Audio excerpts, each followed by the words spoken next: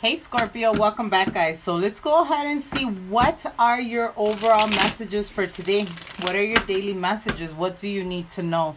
Universe, archangels, spirit, angel guides, and guardians, please help me give Scorpio clear and concise messages regarding their day. Ooh, the Hierophant, Two of Swords energy, Three of Pentacles, and the Knight of Pentacles. So, Scorpio, if you've been waiting for someone to come towards you with an offer, well, guess what, my love?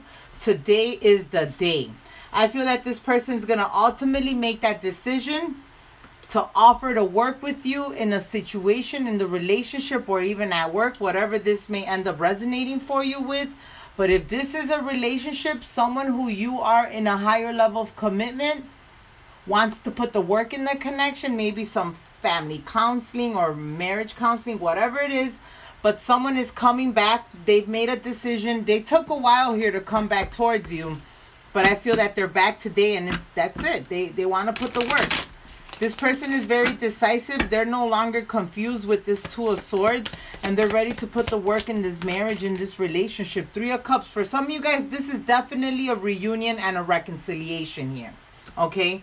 This person is coming in with apologies. All right. So whatever happened between you and this individual will be resolved today. This person doesn't want to be stuck in this situation, does not want to be in separation anymore. I feel that this person finally sees um sees the light at the end of the tunnel or they understand exactly where you're coming from. With the chariot here, this person's on their way towards you today. So do not be surprised if this person meets you at your job or ends up showing up at your house before or after work. But there is an energy of somebody taking a decisive decision in this relationship and definitely coming towards you. Man, someone is reuniting here. There's a reconciliation happening today. There's no way around it. Okay. This is going to ultimately allow you and this person to achieve this beautiful, happy home, happy life. This is your soulmate. Okay. So I don't know. For some of you guys, you may already be married to this person. You guys are going through a separation. There could have been some interference in the past whatever whatever happened between you and this person will ultimately be resolved today. This person does not want to be sad anymore. They want to end this painful situation and they definitely want to balance the situation out with you.